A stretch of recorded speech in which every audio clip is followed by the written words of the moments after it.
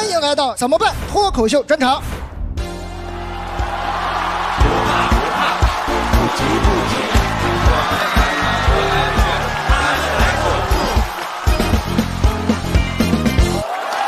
我们这个新节目每期呢会让各行各业的朋友们啊、用脱口秀的形式来讲一下他们的故事。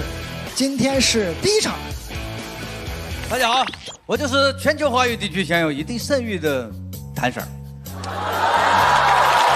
非常高兴能够见到咱们警界的各位同行。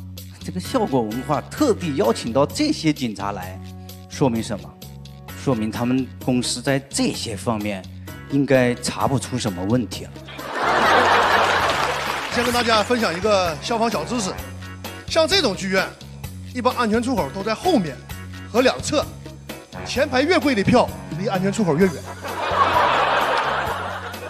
每次看演出，我都和我老婆说，咱就坐最后一排，最便宜的地方就是最安全的地方。平时我不应该站在这里，而是应该在二楼那个位置，观察着下面这些脱口秀嫌疑人。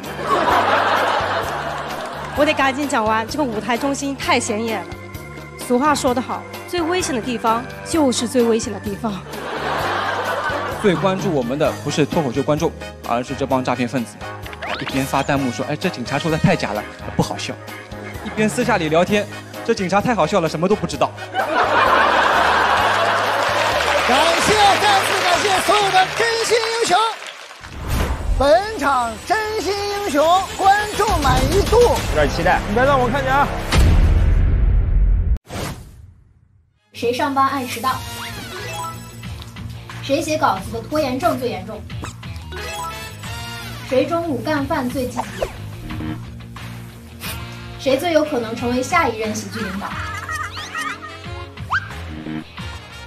谁还没办过专场？怎么办？脱口秀专场还有几天播出？